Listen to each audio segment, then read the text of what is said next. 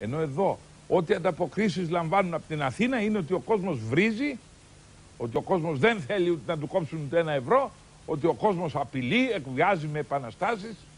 Τώρα έχει αρχίσει και η μόδα να βγαίνουν στις τηλεοράσεις και να λένε θα κάνουμε σαν την Αίγυπτο. Στην Αίγυπτο όμως, κυρίες και κύριοι, παίρνει 1,5 δολάριο την ημέρα ο μισός λαός. Δηλαδή ζουν με 40 ευρώ το μήνα. Και εκεί νομιμοποιούνται να βγουν στους δρόμους. Ενώ εγώ στο Σύνταγμα βλέπω όλο τις ΕΘΕΛ που παίρνουν 2.500 μισθό.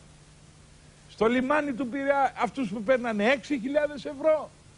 Του ΟΣΕ που παίρνουν επίσης 6.000 ευρώ. Δεν έχω δει έναν φτωχό να απεργεί ή να διαδηλώνει στους δρόμους της Αθήνας. Δεν έχω δει.